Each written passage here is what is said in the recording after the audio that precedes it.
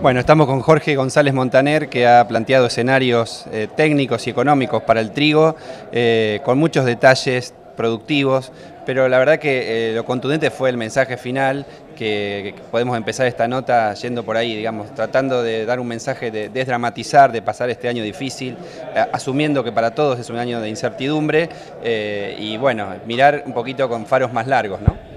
Sí, uno lo que ve caminando con los productores y en, todas las zonas es que eh, están cerca de la plaza, dando vuelta, y en la plaza no hay cultivo, en la plaza están los bancos. Este, eh, están dando vuelta ahí y están realmente muy mareados, muy preocupados, muy afectados y tratando de ver a ver qué canillas pueden cerrar y aquí este, y esto ha pasado ya con las empresas, ha pasado con todas las empresas de insumos. Eh, este, eh, estas reducciones enormes de personal y yo les digo a los muchachos, muchachos tengan cuidado porque echar marineros del barco, sacar marineros del barco, eh, no es una buena idea, no es una buena idea porque la agricultura en la Argentina está destinada a un futuro muy positivo.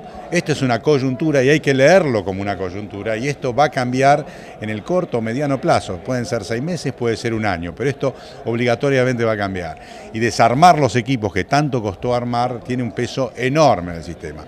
Pero frente el capital social es más difícil de reconstituir que el capital más monetario. Sí, salir a comprar un insumo lo haces en media hora, pero formar gente y tener gente que te sea fiel y que trabaje en los mismos objetivos que vos, este, no te, entonces les digo, no se calienten. Porque el problema acá es que vos llegás nervioso a la tranquera del campo y eh, viene el encargado, viene el asesor, viene, lo primero que haces empiezan las idas y vueltas, a los cinco minutos echaste eh, y sentís que hiciste una reducción. Pero eso no sirve. Está demostrado ampliamente que no sirve. O sea, les propongo a todos que trabajen este año en perder plata, la menos posible, en perder plata, la menos posible, pero en cuidar la gente. Igual no es un mensaje facilista el que estás dando porque reconoces eh, las distintas situaciones de las distintas producciones, los distintos productores y una recomendación importante que también diste es la flexibilidad, porque cada uno analice a fondo qué es lo que mejor. Habrá alguno que podrá aguantar, habrá alguno que no. Este, el tema es ver esto como una coyuntura. Desde, si vos analizás desde,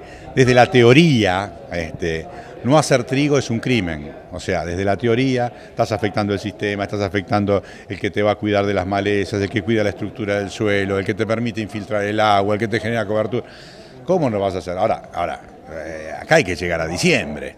Este, y la realidad es que hoy en día con estos precios es de bancarrota la situación. Entonces, eh, ¿quién puede hacerlo? Lo puede hacer aquel que está en una situación con espalda, que puede mirar el sistema o porque tiene ganadería, o porque viene con años buenos, o porque cosechó 6.000 kilos de soja, bueno. En ese escenario, digamos, fantástico, podés, tenés otra... Ahora, el tipo que viene con todo alquilado, eh, con todo campo alquilado, con situaciones complicadas ya financieras de antes, eh, no le puedes dar un, salvavidas de plomo porque no hay ninguna certeza en que las cosas van a cambiar eh, y que van a cambiar en enero, porque por ahí a mayo el flaco ya está ahogado. Entonces, cuando yo digo flexibilidad, eh, que es lo que vos me preguntabas, es, es probable que este escenario cambie en agosto. ¿Eh? que con las pasos y qué sé yo tengamos un escenario diferente. Se pueden ir viendo señales paulatinamente, algunos se las jugará más o no, pero en las pasos puede haber un, principio de, señal. yo tengo algunos que ya hoy están decididos a trigo porque piensan que va a cambiar, en realidad es porque están, le, dan a, Hay un deseo. blanca, ¿viste? O sea, están... Es más un deseo que una perspectiva clara. claro, pero bueno, pero eligen, está bien, bueno, vos tratás de acompañarlo y darle la tecnología para que no se equivoque, pero la decisión la toman ellos. Este. Pero la realidad es que lo que sí yo les recomiendo es que sean flexibles, o sea, que, que vayan mirando las diferentes eventualidades donde vos tengas ya más probabilidad, cuando ya tengas el 60% de probabilidad de que la cosa cambie, te podés jugar, pero con el 40 no te juegues, porque hoy tenemos el 40. Este, hoy la verdad que todavía falta mucho volumen para pensar que los cambios políticos pueden afectar. También decía que pueden pasar las cosas más raras, porque es probable que, el, grupo que hoy está en el poder, para sacarle letra a la oposición, eh, ¿viste? aparezca con algún mensaje, que, porque son unos genios en general esas cosas. Puede ser, bueno, este, pero bueno, eso es todo parte de lo que puede pasar. Cada uno hará su, análisis, su escenario. Nosotros tenemos que darle herramientas, digamos, para que lo que decidan lo hagan de la mejor forma posible y sobre todo ayudarlos a que bajen, a que bajen el nivel de, desesperación, ¿eh? que, con eso no se va a ningún lado. Eso cada uno, cada productor lo, irá definiendo paulatinamente, va resolviendo esa incertidumbre. Y despojado de esos temas, digamos, más subjetivos, eh, ¿qué eh, factores hay que tener en cuenta en términos generales para disponer las fechas de siembra? Yo, yo, hablé básicamente de algunos puntos que me parecen claves hoy, que son la elección de la variedad y el grupo, tratar tampoco comprar lo que viene de afuera, sino mirar sus datos. Hoy es un día muy, muy, muy importante para mirar los datos de cada uno ver qué me pasa con lo que yo estoy usando, a qué calidad llego, estoy conforme, estoy, la pude vender, no la pude vender, y en función de eso ver si tengo que pasar a una calidad superior, que lógicamente en general es algo menos de rinde. Pero bueno, pero entre no vender eh, siempre es una ventaja. Pero tengo que analizar mis propios datos.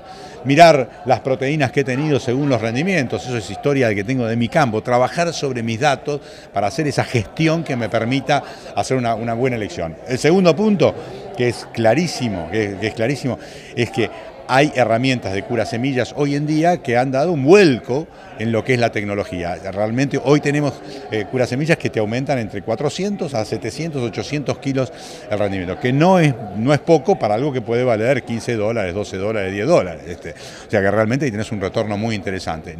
Y en particularmente en cebada con una fuerza enorme. O sea, no dejen de usar esas herramientas. Este, eh, equilibren lo que es PN, fíjense dónde pueden levantar o bajar eh, PN, sobre todo los ambientes más o menos y en campos alquilados, tener cuidado con no excederse en las nutriciones, hacerlo lo, justo y monitorear la nutrición, monitorear la nutrición para ver cuándo hay que hacer un aporte eh, adicional. Eso va a depender de la zona, no se pueden hacer aplicaciones tardías en general en los ambientes más al oeste, más al norte es más complicado, pero en el sur todavía tenés chance de recomponer nutrición más tardíamente, hay que utilizar esas herramientas.